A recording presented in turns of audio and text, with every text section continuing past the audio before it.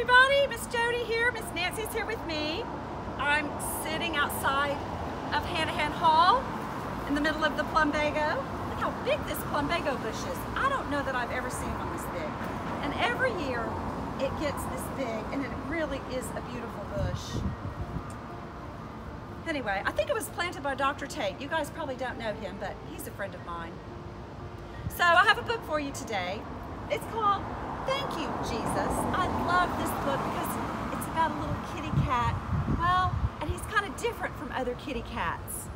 And it just reminds me how none of us are alike and we're all different, yet we all have something in common. So the book is written by Charlotte Lundy, illustrated by Heather Claremont. I hope you enjoy it. Thank you, Jesus.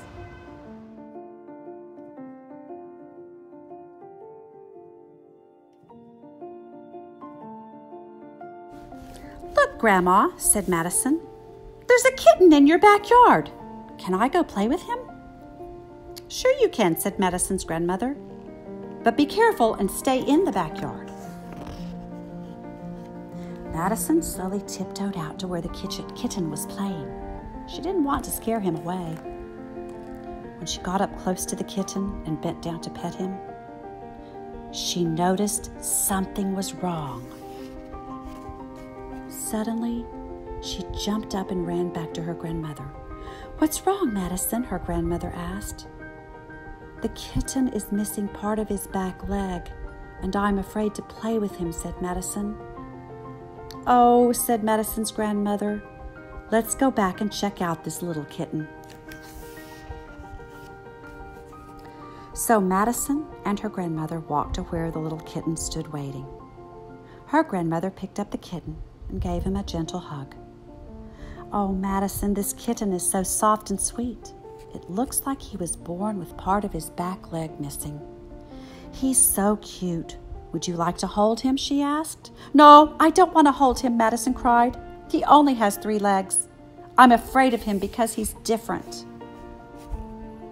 Madison's grandmother gave her a big hug and said, Sometimes people and animals are born who look different from the others. And sometimes accidents happen that leave us hurt or looking different than we used to. But just because someone is different doesn't mean that we should be afraid of them. All of these people and animals are special because they have overcome their injuries or handicaps, Madison's grandmother told her. Just like this little kitten. Even with part of his leg missing, he can still jump and climb trees and chase butterflies like other kittens his age. Look at the way he plays with my apron string, Madison's grandmother showed her.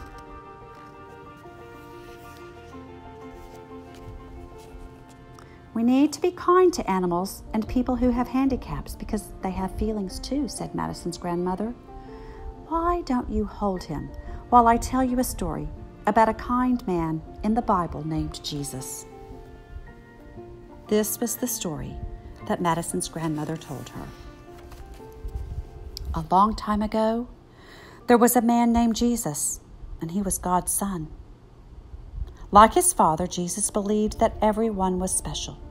When Jesus traveled around the world, he told everyone about God's love. During his travels, he met a lot of different people. Sometimes, when Jesus came to town, he would help the needy and heal the sick. Jesus was kind to everyone. When the blind man met Jesus, he said to him, Please, Jesus, I cannot see. Help me. When the crippled man saw Jesus, he said to him, Please help me, Jesus. I cannot walk. When the woman with leprosy met Jesus, she said, My skin has sores all over it. Please help me, Jesus. After Jesus talked and prayed with these people, he made the little blind man see, he made the crippled man walk, and he healed the woman with leprosy. Jesus was kind and loving.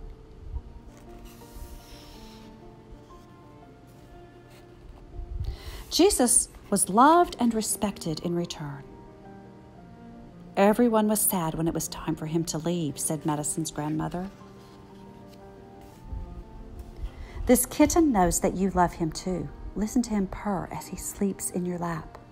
He feels safe and secure with you, her grandmother said. Oh, Grandma, you're right, Madison said as she looked up at the little kitten asleep in her lap. I do love this kitten. Can I keep him, please? she asked. Her grandmother thought about it for a while, and they gave the kitten some milk. Sure, you can keep him, she said. He could stay right here with me at my house, and when you come to see me, he will be waiting for you. Oh, thank you, Grandma Madison said. I promise I will take good care of him, feed him, and love him. Thank you for telling me the story about Jesus. As Madison looked up to the sky, she gave her kitten a little hug and she said, Thank you, God, for sending Jesus to teach us to love everyone, even though we may be different. The end. What a great lesson, everyone. I loved this book, and it says, I love the last part of it. Thank you, God, for sending Jesus to teach us to love everyone, even though we may be different. What a great lesson for all of us to remember every day to love everyone, even though they may be different. Well, I hope you enjoyed that book, and we'll see you again soon.